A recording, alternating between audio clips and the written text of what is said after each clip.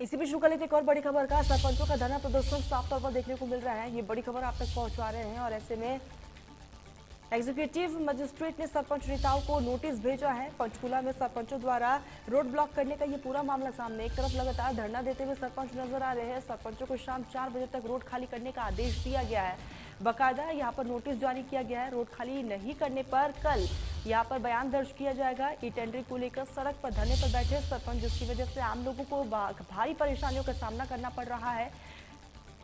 तो executive magistrate ने सरपंच नेताओं को ये यहाँ पर बकायदा ये लेटर भेजा है। पंचकूला में सरपंचों द्वारा रोड ब्लॉक किया गया है, जिसकी वजह से आम जन को आने जाने में काफ़ी तकलीफ़ हो रही है। शाम चार बजे तक जवाब मांगा गया है। रोड खाली नहीं होने तक कल बयान दर्ज करना होगा। तो चार बजे तक का वक्त दिया गया है और ऐसे में देखने वाली बात ये होगी कि सरपंच पीछे हटते या नहीं, इस नोटिस का पालन सरपंच करते हैं या नहीं।